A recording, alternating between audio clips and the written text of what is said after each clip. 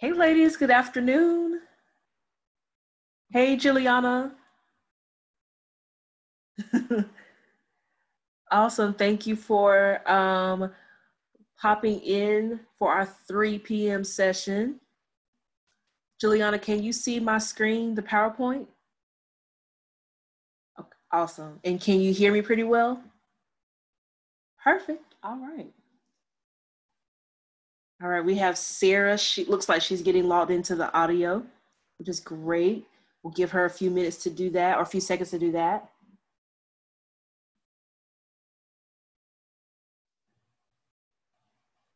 All right, so Juliana, I'm gonna move to the next slide so you can see the supplies if you want to um, participate in the activity with us today.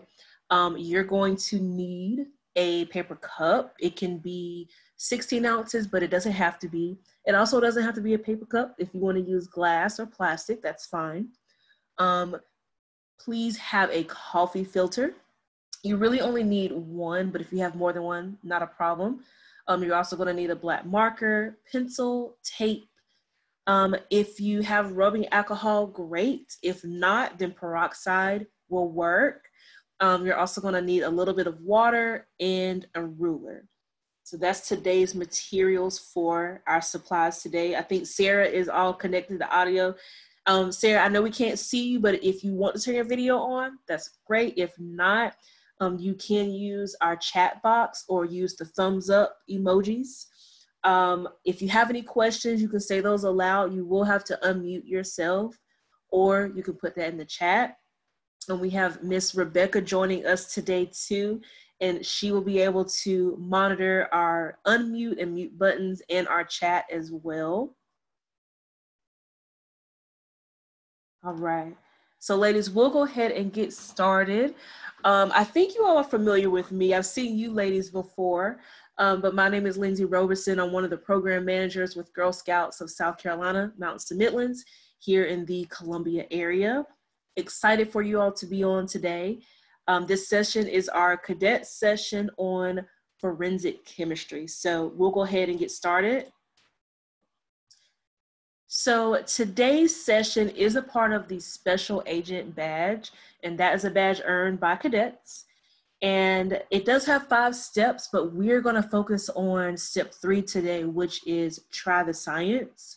Um, since our since our project or activity takes a little bit of time to have a reaction, we're going to start with that first, and then we'll get into all um, the learnings after that. Okay. And let's move forward. As always, we're going to start with our promise, Girl Scout promise in law.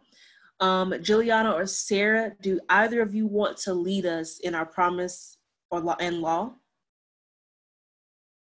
Okay, Juliana, if you want to unmute yourself and you can get us started. On my honor, I will try to serve God and my country to help people at all times and to live by the Girl Scout law.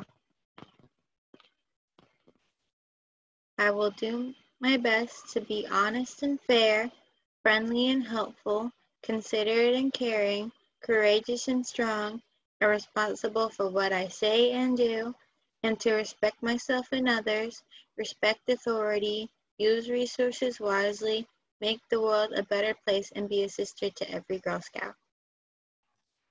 Awesome. Thank you so much for being brave and volunteering for us. I appreciate it. So the purpose of today's badge, um, when you've learned this badge, you'll know secrets from the world of forensic science and criminal psychology. Does any, do any of you have an interest in working in forensics at all? Just by show of hands? Not Juliana, okay. Maybe Sarah? And there's an emoji up there too if you want to do a thumbs up or if you want to put in the chat. Okay, that's okay. that's okay. We will move forward, move forward. Let's see. All right, so let's start with our activity first. So we are going to be creating coffee filter chromatography. And again, here are your materials. And if you do not have all your materials with you right now, there's no problem. Um, our session will be posted on our website soon, so you can always go back and follow along. Um, but you are going to need a paper cup, or it can be glass or plastic, not a problem. You also are going to need a coffee filter, a black marker, pencil, tape, rubbing alcohol or um, peroxide, water, and a ruler. So I will stop sharing my screen and I'm going to spotlight our supplies so you can see that. Let's see. All right, so everyone should see the supplies here. All right. So we'll go ahead and get started and I will move this out the way so you can see.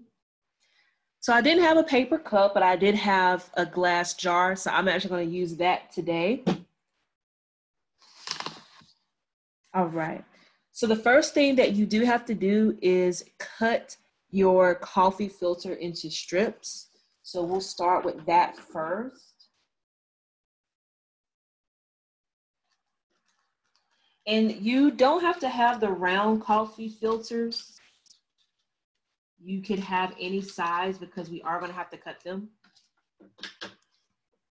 And I don't wanna distract you, so I'm gonna turn my video off so you can look at the supplies.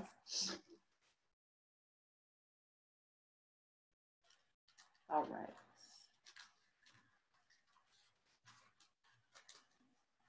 So I'm gonna cut one strip since I'm only going to do one example. So that's just my strip my coffee filter. So I have that.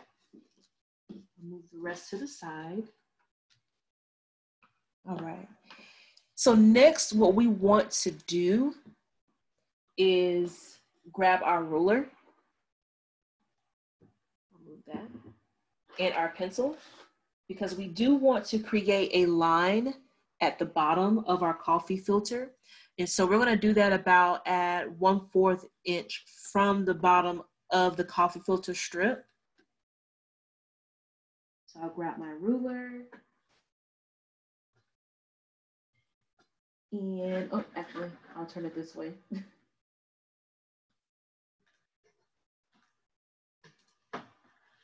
Here we go. And so at about a fourth of an inch, it's gonna be about right here. So I'm gonna grab my pencil and draw just a line at the bottom there. Right.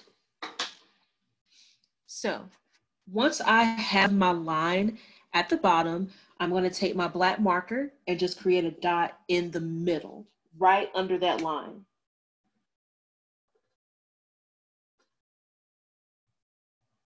All right, there is my dot. Doesn't have to be that big, it can be small. So now I'm ready to mix my water and my peroxide, or if you have alcohol, it's gonna be water and alcohol mixture.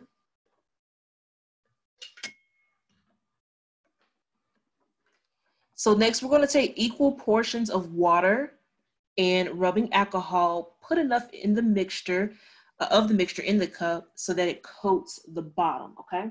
So I just have a little bit of, of water here. And I'm only gonna pour enough to coat the bottom, about a fourth of an inch. So that's almost, I'll put a little, there we go. That's perfect, right? And so next, I'm gonna take my peroxide or alcohol if you have that. And I'll do about equal parts. So I'll pour that in, pour, pour, pour. That should be good. All right. So now we have our solution. I'm just going to stir it around just a little bit there. Awesome. So next, what we're going to do is we're going to take our pencil and our tape. A little piece here. You may need more than one piece, just depends. So my extra, I'm just going to stick to the side of my table just in case I need that. All right. So we're going to hold the pencil horizontally and take the top of the coffee filter strip to the pencil. So what I want to do is I want to take my strip here. And I know this is a lot longer than my cup. So I'm going to wrap it around a little bit. Just so it's the length of the cup. So the most important part is to make sure that your strip is the length of the cup here because you do not want it to fully submerge for this project, okay? All right. All right, so my filter is taped, all ready to go. And so now we're gonna position the pencil horizontally across the top of the paper cup so that the strip hangs into the liquid. So when this hangs in the liquid, you do not want to fully cover this dot. So you're only covering just that edge there.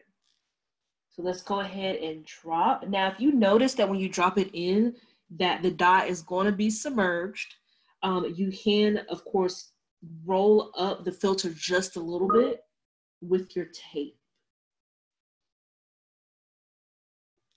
I'm gonna pull it back so I can see. Perfect. So now we'll let that sit for the remainder of our session today.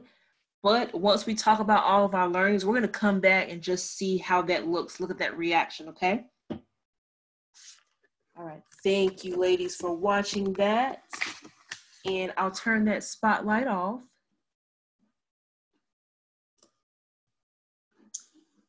All right.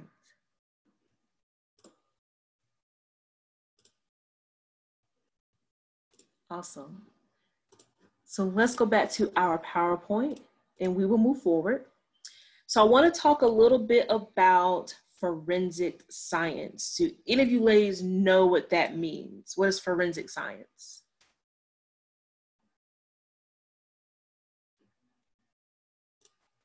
Any guesses? And I'll check the chat just to see.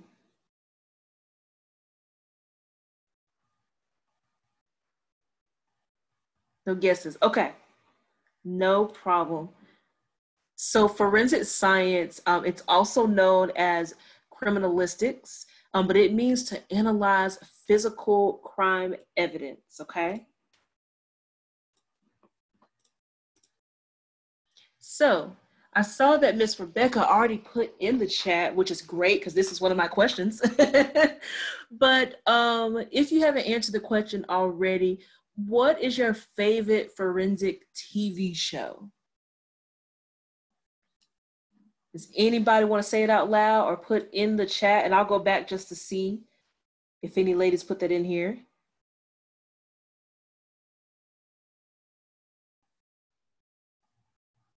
And I see something from Sarah. It looks like she's making a detective movie in foreign languages out of Legos. That's cool. Awesome. So Miss Rebecca says NCIS is really cool. Yes. I'm currently watching Criminal Minds. I can't believe I've gone this long without seeing Criminal Minds. but um, it is really, really good. Anybody else? Juliana, Sarah? Don't know? Okay, that's not a problem. So Sarah says, I know of a character named Batgirl and she uses forensics shown in Brain Drain. Oh, cool. Okay, I didn't know that. Cool. Awesome. Awesome. So before we go to our second question, or actually, no, we can move to our second question. Um, what evidence do forensic scientists look for? Who can tell me that?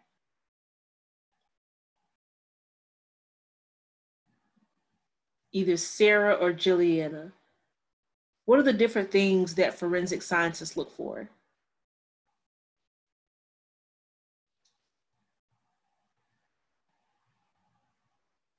Yes, Juliana, you can unmute yourself. Go ahead.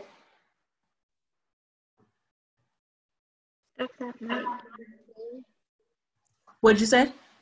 that might give things that were left. You said items that may have been left behind? Mm-hmm. Okay, yes, that's one of them. Okay, anything else? Um, Sarah says clues or fingerprints or footprints. Exactly, that's three other good ones. Good. Anything else? All right. So you ladies definitely pulled um, some of the clues that I had on my list. So of course, fingerprints is probably number one. Um, they also look for any other DNA um, that might be at the scene. They look for objects, so shoes, clothing. Um, they also even talk to eyewitnesses that can go into evidence to see what others may have saw. Um, footprints and tracks. Um, so you may see that someone might have been wearing a specific type of shoe, or there might have been someone that was in a car or on a bike. And so those are different things that they look for, just different tracks that might be um, in the ground near the crime scene. So those are just different things that forensic scientists look for. So great job, ladies. So I want to talk a little bit about types of forensic scientists. So the first one we're going to talk about is criminalists. Um, criminalists um, pretty much look for physical evidence from a crime, anything that will be considered physical evidence. Um, next, you have digital and multimedia forensic scientists. What they look for, actually, I won't tell you. I want you to tell me what you think they look for. Digital and multimedia forensic scientists. What do you think they look for?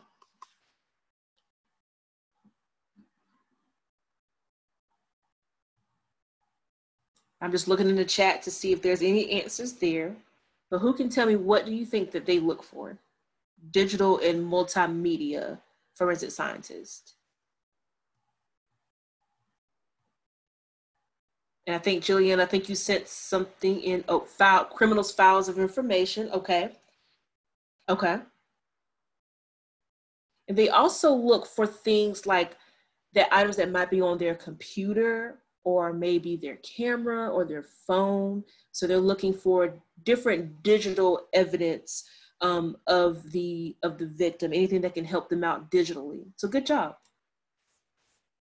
So next you have engineering. So these are the individuals that um, will use a lot of math and science um, to find out what happened at a crime scene. So really that's in all of um, forensic scientists' duties. They're definitely using math and science. Then you have forensic dentists, um, and those are the individuals that will do more examinations of teeth of a victim just to figure out um, if they can identify that person or if there was anything that may have happened that can lead to solving the case. Um, then you have forensic pathologists, um, and they do examine the bodies and then they analyze the blood from those bodies. You also have forensic anthropologists. Um, those are going to be the scientists that will identify um, a body. And then you have toxicologists. Um, they are looking for the effects of harmful substances. So if there's um, if there was a death caused by any type of poison um, or natural causes, they're the individuals that will be able um, to give you information on that. So as you can see, there's a plethora of jobs that you can choose from in the field of forensics. Um, this is a very interesting field. Um, if, if there's a show that you've always been wanting to look at, I encourage you to look at that as long as you are allowed to, um, just to kind of get an idea of what the forensic scientists do. Um, again, Miss Rebecca mentioned NCIS, Criminal Minds. Those are two good um, shows that really give you an insight of really all of these different roles of forensic scientists. Awesome. So let's go back to step three. So again, we tried out the science today with our activity, which was the forensic chemistry chromatography. Um, so the process of chromatography is used by forensic scientists so they are allowed to separate the parts of a mixture so their individual parts can be analyzed. So Juliana, you have a question. Go ahead and unmute yourself. It's not really a question. It's okay. A, it's, it's like I remember something from a show that I watched. It's okay. like it's like they were solving a mystery in this episode. Mm-hmm. Uh, the host of the show's brother escaped from jail and it's pinned on their mother. Mm. But they're trying to figure out whether it was the mother or the girlfriend. So they did this and then they analyzed the cakes and they did what you were doing. Exactly, exactly. This is a definitely thank you for sharing that too because this is definitely what forensic scientists will use and it may seem you know really basic and really simple but it helps them solve a lot of different cases so science is a is a huge piece of forensics to help them solve cases thank you for that awesome So again, um, with this method of forensic chemistry, um, it can be used to detect poisons or drugs present in a body. Um, it can also help find traces of explosives or to identify ink and stains or ransom notes. That's crazy, right? I think that's so cool. So, so cool. All right. I'm going to share my supply screen with you again. So let's go back. We're going to spotlight that video. So let's see. So remember, we started out with just a simple black dot um, and we submerged that into our peroxide and water. And so you can see some of that color moved up. It's very faint, so I'll put that up to the camera. So as you can see, that black dot started right there but then it started to separate its colors and move up. So right now we're seeing a little bit of blue that came out of that black that's right there. And that one dot all the way at the bottom. So that solution helped break up the mixture that's in a black marker. Um, and again, forensic scientists will, will use this so they can find traces of important evidence that they can use in their cases.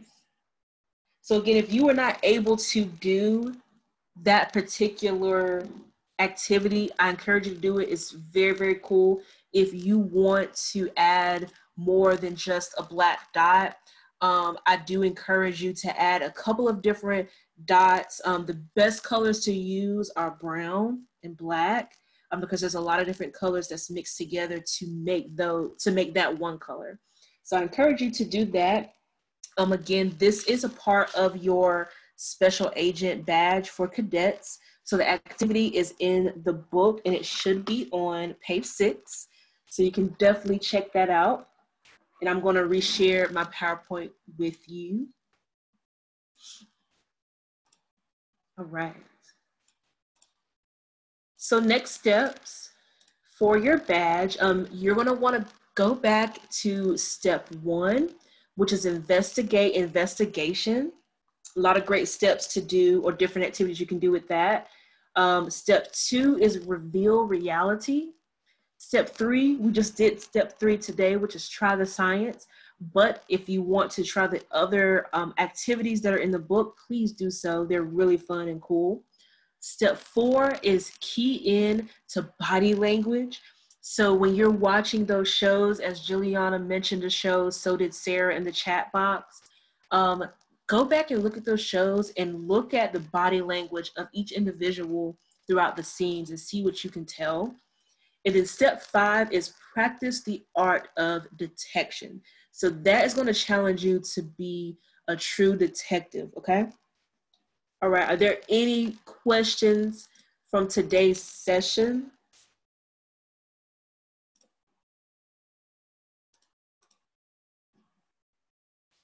All right. I saw that Juliana said that she's done with the batch. This was probably the last step she had to do.